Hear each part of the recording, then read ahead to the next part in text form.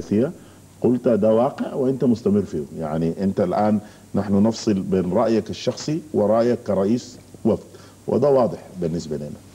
لكن نحن في هذا الإطار نريد أن نسأل سؤالا مباشرا عن مستقبل المبادرة نفسها. في سبتمبر تخلف وفد الحركة وكان تخلف غريب جدا غريبة في كل الجولات اللي فاتت في أكتوبر قالوا أنتوا تخلفتوا ما جيتوا. الآن آه، آه، بص خبر عن إنه في جولة يوم 11 تم نفيها من يوم يومين. سيادتك ووفد التقيتوا بالمسؤولين الكينيين. السيد رئيس الجمهورية آه، في مؤتمره الصحفي في المؤتمر الوطني أدلى بتصريح واضح جدا. قال بنفتكر إنه الجولة القادمة دي هي آخر جولة لنا مع حركة التمرد. إذا أبدت جدية يبقى الناس يستمروا في هذه المبادرة وإذا لم يشوفوا لهم حاجة ثانية ط- شنو الخطوة القادمة؟ ما هي الخطوة القادمة في إطار هذه المبادرة؟ سواء نسفا أو تشييعا أو دفعا للأمام. بالمناسبة الذي تخلف هو حركة ال- التمرد من ال- المفاوضات التي حدد لها يوم 5 سبتمبر. نعم. نحن وفدنا كان على وشك الصعود إلى الطائرة عندما جاءت الإشارة بأن وفد حركة التمرد لم يحضر لأنهم مفلسون ليس لديهم تذاكر الطائرات. طبعا نحن نعلم أنهم يأتون من جنوب السودان وليس ومعظمهم موجود في نيروبي أصلا. ولكنهم يستنزفون سكرتارية الإيجاد. لأن سكرتارية الإيجاد ممولة من قبل شركاء الإيجاد. فهم يستنزفون السكرتارية ويطلبون مقابلا في كل مرة يأتون فيها إلى آه، إلى التفاوض بادعاء أن هذا المقابل هو لتذاكر الطائرات. ففوجئنا بأن آه، لخلو خزينة السكرتاري آنذاك أن وفد الحركة لم يأتي. وقال إنه لا يستطيع القدوم لأنه لم توفر له طائرة ونحن نعلم أن أنهم جلهم كان موجودا في في نيروبي أصلا يعني. بهذا السبب الغريب آه، أرجئت الجولة الأولى. لم تحدد جولة بعد ذلك مطلقا. يعني هذا الخلط هم الذي أحدثوه هو الذي أحدثوه قالوا إن حددت جولة مرة أخرى في يوم 24 وهذا كان مقترحا فقط من الحكومة الكينية. ونحن قلنا لهم نحن نفضل أن نأتي لنشرح لكم هذه المسائل التي شرحتها لك سابقا حول المبادرة وحول الإيجاد وحول تصرفات ومسلكيات آه، جون آه، ولذلك لم يحدد موعد في 24 الحكومة لم تتخلف من جولة حتى الآن.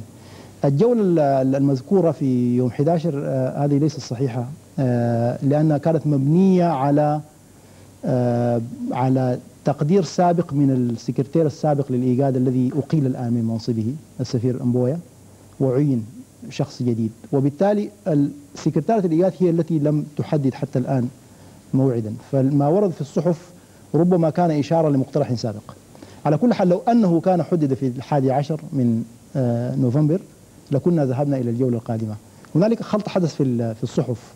نحن لم نتحدث عن جولة نهائية ولكننا تحدثنا في خطابنا الرسمي الذي كان باللغة الإنجليزية طبعا عن أن الجولة القادمة ستكون مصيرية. قلنا استخدمنا كلمة decisive. آه هذا لا يعني أنها ستكون آخر جولة ولكن سيعني أنه لا بد من الوقوف بعد الجولة التالية إذا ما جاء جون جرنج بنفس الأجندة التي عبر عنها في خطابه في السادس عشر من مايو أنه يأتي ليس للتفاوض وليس للتسوية ولكن لإسقاط الحكومة ولإزالتها سيكون من حقنا قطعا أن نقف عند ذاك وأن نطالب بمراجعة شاملة لكل المبادرة طيب برضو يا دكتور غدر المبادرات في السودان مبادرات واقفة خلف الأبواب. حاجة غريبة جدا. يعني يمكن قبل إيه، أحداث سبتمبر والناس يتحدثوا عن الإيجاد فجأة ظهر حديث عن مبادرة أمريكية. وبالمناسبة كل ما تجي مبادرة تنفى إنها مبادرة.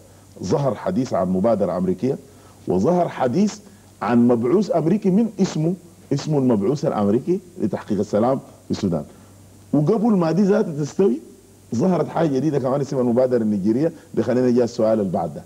نتكلم عن المبادرة الأمريكية. إيه حقيقة ما, أشيع عن تحرك أو مبادرة؟ وإيه قصة المبعوث للسلام الشعب السوداني عايز يعرف المبعوث شنو ودي تبقى فرصة للإجابة على سؤال الأخ عمر الأمين. سأل عن ال- ال- الدور الأمريكي. خلينا العلاقات الامريكيه نجيها ثاني عن الدور الأمريكي في تحقيق ملف السلام والوفاق. علما بأنه أنا حضرت لقاء في منزل السيد أحمد المهدي من ثلاثة أربعة يوم مع نائب مساعد وزير الخارجية الأمريكي وأعضاء الوفد الأمريكي وتحدث وكنت حريص جدا أسمعه. قال كلام بسيط جدا. رحب بالحاضرين وأنا قلت الكلام ده برضه في حلقة فاتت افتكر مع البروفيسور إبراهيم احمد عمر وقال أن إحنا دورنا إننا نحن ندفع جهود السودانيين عشان يحققوا السلام بأنفسهم وليس من جهة خارجية. فكلمنا شوية عن المبادرة الأمريكية والمبعوث الامريكي. آه، آه، ينبغي أن نوجه النظر هنا أولا إلى ال- إلى السياسة الأمريكية نفسها آه، ال- التعامل معها بالظواهر السطحية فقط آه، لن يكون مفيدا. لابد أن تتعمق وأن تدرس لماذا يتحرك آه، تتحرك الحكومة الأمريكية الآن. الحكومة الأمريكية أدركت بعد مضي آه، عدد من السنوات من سياستها الإفريقية أن سياستها تجاه السودان فاشلة بإجماع المراقبين بإجماع حلفائها في المنطقة. تذكر توني ليك وأولبرايت وسوزان رايس والقدوم العظيم للرئيس الأمريكي السابق إلى منطقة إفريقيا وإنشاء دول المواجهة كما سموها ال front line states التي سميت دول المواجهة أحيانا وسميت دول الطوق أحيانا أخرى بمعنى أنها تطوق السودان. ونحن كنا نقول لهم لماذا تسمونها دول الطوق؟ يعني تطوق من؟ هذا موقف عدائي ابتداء لعلك تذكر كل هذه السياسة الأمريكية. هذه السياسة الأمريكية فشلت فشلا ذريعا. لم تستطع أن تؤلب أحدا على السودان. آه لم تستطع أن أن تعوق النمو الاقتصادي للسودان. نحن في خضم هذه السياسة الأمريكية في في في في ثنايا هذه ال- ال- الحقبة. استطعنا أن نستخرج البترول وأن وأن- أن نستحيل دولة بترولية.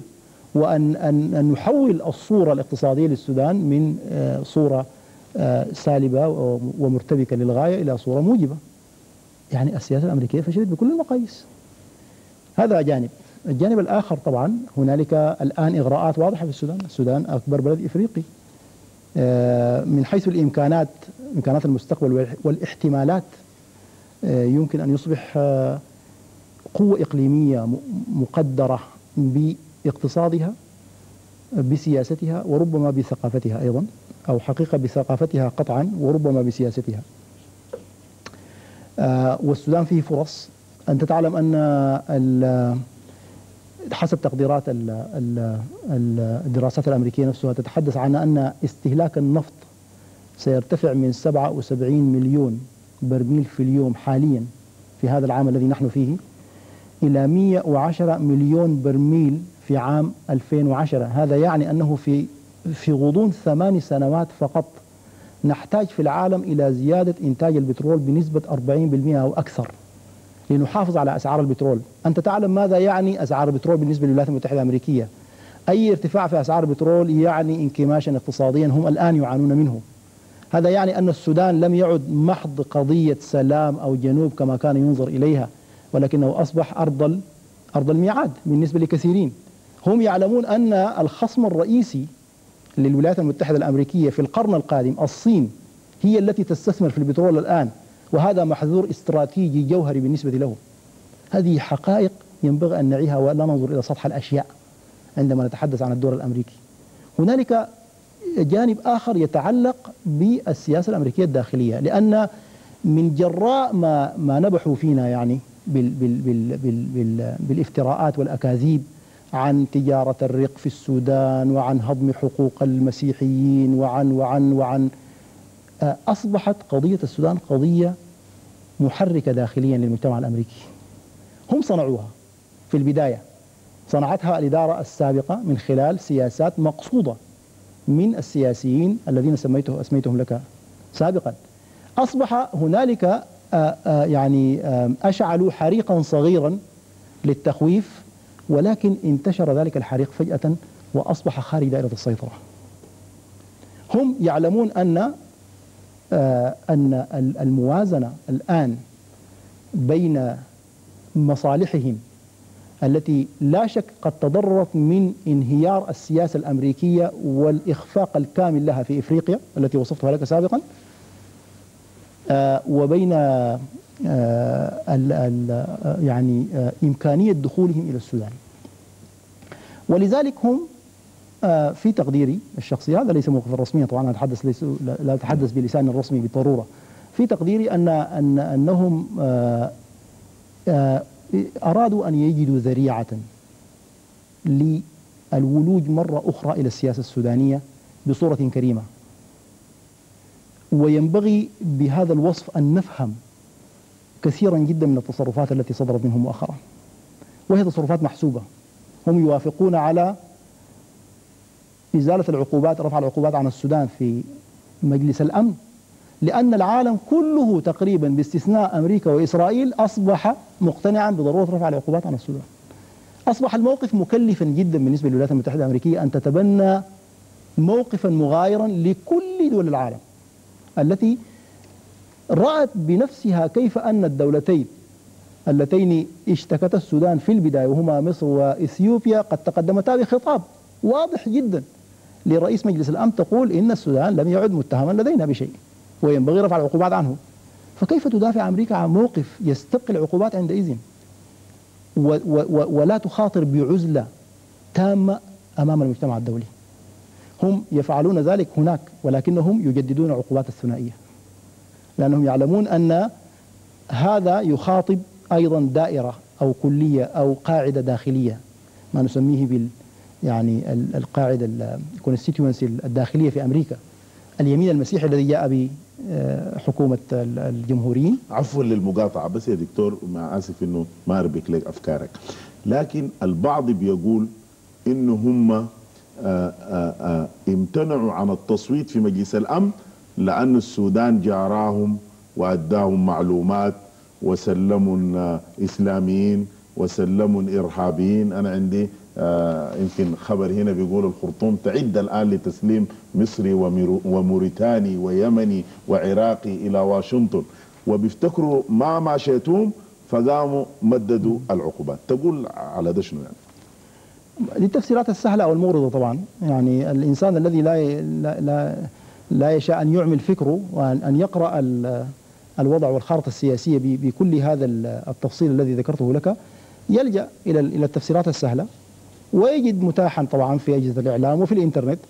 يعني ليس كل ما يكتب في الإنترنت صحيح. أنا يمكن الآن أن أشيع عنك إشاعة وفرية كبيرة جدا وأسجلها في الإنترنت وأبثها في كل أنحاء العالم. وهذه أصبحت وسيلة فعالة جدا لبث الإشاعات يعني. ولكن ما الذي يجعلني أصدق هذا الكلام يعني؟ يعني يتحدث الآن عن تسليم 170 شخصا ومرة 200 شخص. يعني هل لدينا مخزن نحن هنا نسلم منه الأشخاص بهذه بهذه السهولة؟ أي شخص يختفي من من محيطه المباشر في منزله في حيه سيشعر به الآخرون. كيف يمكن أن تستنى أن تسلم 170 شخصا أو 200 شخص ولا يعرف الناس من هم هؤلاء الأشخاص؟ يعني حتى الآن مثل هذه القصاصات التي عرضتها أنت الآن موجودة وتعج بها الإنترنت. آه القصد منها واضح طبعا هو تشويه سمعة السودان واستغلال هذا الذي حدث مؤخرا آه لدمغه آه بهذه الصفة. لكن هل حصل أي تعاون أمني بين السودان والولايات المتحدة نلتم بها رضا الولايات المتحدة. يعني الآن لغة الولايات المتحدة لم تعد هي نفس اللغة السابقة. فهل حصلت يعني نعم. يعني أرجو أن توضح هذه النقطة الآن. أنا أقول لك أنها لم تعد اللغة السابقة لأن اللغة السابقة لم تعد مجدية.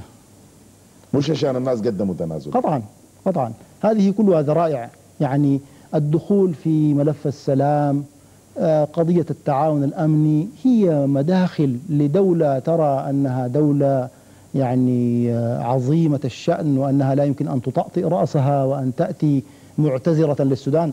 أنت تعلم أنهم يتعاملون بمعايير القوة. يعني هم الآن يدركون تماما أن قصف مصنع الشفاء كان خطأ ولكنهم لا يعتذرون. ولكنهم يعتذرون للصين. يعني الصين ليست السودان. لماذا يعتذرون للصين؟ في ضرب السفارة السفارة السفارة الصينية في في يوغوسلافيا لأن هذه دولة حقيقة بمعايير القوة المادية مكافئة للولايات المتحدة الأمريكية وأمريكا أمريكا لا تحتمل أن لا تعتذر لها.